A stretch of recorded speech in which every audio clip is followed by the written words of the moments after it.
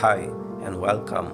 My name is Ishaq. In today's video, we are going to build our first PyQt5 GUI. What is PyQt?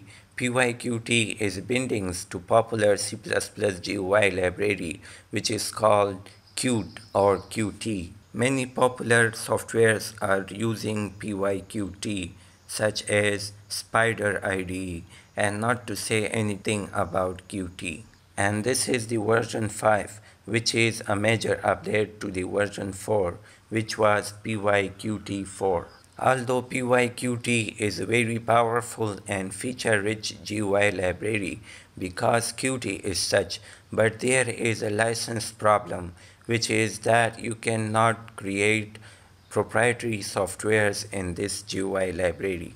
You will have to buy an appropriate license. But there is an another project which is also bindings to Qt GUI library and which is officially supported by Qt company. And it's not so popular I don't know why but there is no license problem.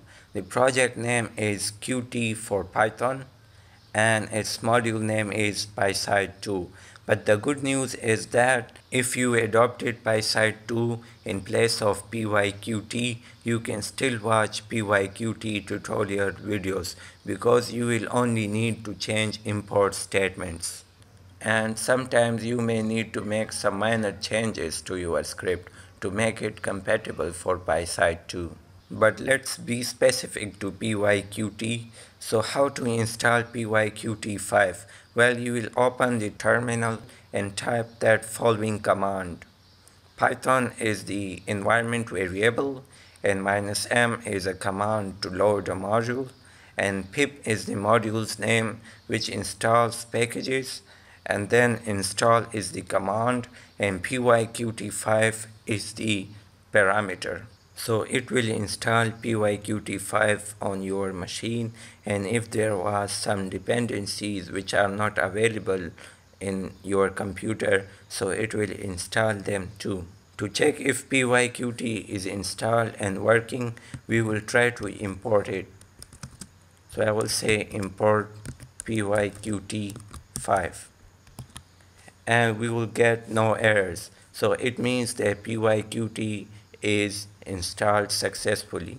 PyQt5 is a package and it contains many modules. So we want to access a single module whose name is Qt widgets. So I will change my import statement as from pyqt5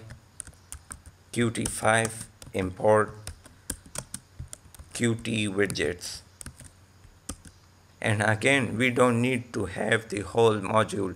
We only need to import two classes from qt widgets. So i will make further change to my import statement. I will say pyqt5.qtWidgets import QApplication and q label So this line says import QLabel and QApplication classes from Qt widgets module from PyQt5 package. QApplication is not a widget by itself. It is used to make an entry to the Qt application. So let's create an instance of it. I will say app equals QApplication and here I will provide an empty list which shows that this application doesn't process or accept command line parameters. So let's go further. Here create a label object, label equals QLabel, whose content will be hello world. And call its show method. After that, enter into the app main loop. So I will say app.execute. Show is a very powerful command of any widget. It creates a native window for it and puts that widget into it. If we run our this code, we will get a GUI, which is for sure is not what we want. So we will add some necessary settings. First of all, I would like to change the font size of the label. So I will say label dot set style sheet And Qt supports some minimum set of CSS attributes and this is one of the favorite features of Qt. So its font size is gonna be 20 pt. After that I will change its Windows minimum size. So I will say level dot set minimum size 400 and 400. First parameter is the width and second parameter is the height. After that I would like to change its Windows title. Its title will be also hello world. Now let's run our code. Now we have some nice looking GUI, but the hello world is not centered. Now how we can center it? Text align CSS attribute is not supported by QLabel.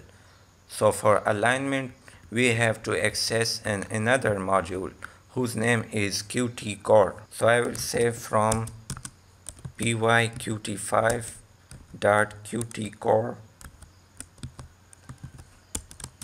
import Qt and Qt has an attribute align center. Here I will call the labels set alignment method and I will provide the alignment value. Now let's run our code. And now everything is looking fine.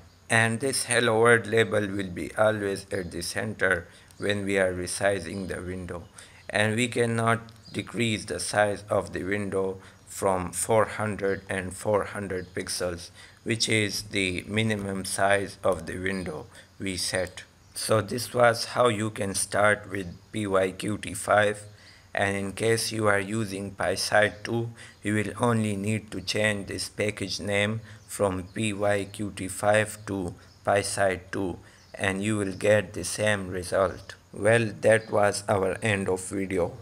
I hope you enjoyed. See you next time. Bye bye.